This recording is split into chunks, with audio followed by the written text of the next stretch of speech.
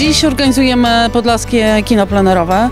E, Jesteśmy bardzo zadowoleni, że udało nam się wejść w współpracę z Podlaskim Instytutem e, Kultury w ramach projektu właśnie Podlaskiego e, Kina Plenerowego. Myślę, że jest to fajne wydarzenie, które wychodzi naprzeciw naszym mieszkańcom.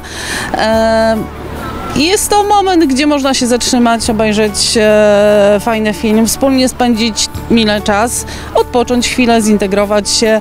Myślę, że mieszkańcy gminy są bardzo zadowoleni. Staramy się, żeby każdy miał coś dla siebie do wyboru. Te imprezy są różnorodne, jedne bardziej poważne, drugie bardziej wesołe.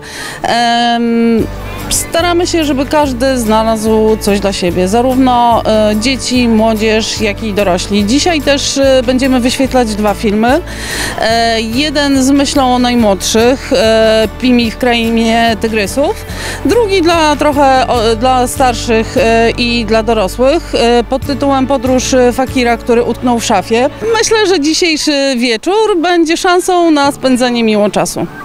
E, Żeby uprzyjemnić czas, e, nasze koło gospodyń zabudowianki przygotowało smaczny posiłek, który umieli dzisiejsze popołudnie.